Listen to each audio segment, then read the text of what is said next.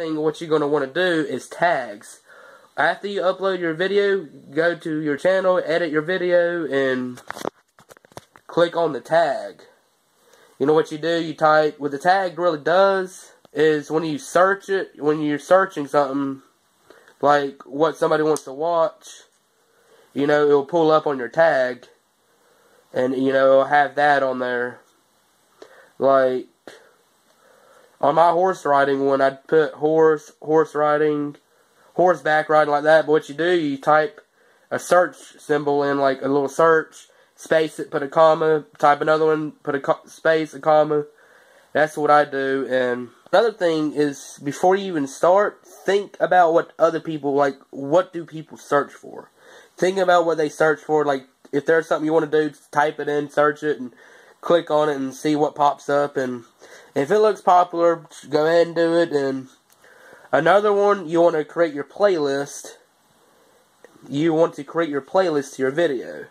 I have multiple playlists on my channel, but um, I have multiple playlists on my channel. So you're going to want to have a playlist. Make um, actually category it like if it's if your video is about gaming, entertainment, you know, animation, and you know stuff like that. Make sure it's category like make sure it's on category and. The last thing you want to do is when you upload it, make sure it's set on public and not private. Because if it's on private, nobody's going to see it. It's got to be public for everyone else to see it. Um, I hope you like this video. I'm running out of time. I don't have that much space already, so I gotta close this. Um, if I will try to leave a link to those apps in the description box if I can. I'm not gonna promise that.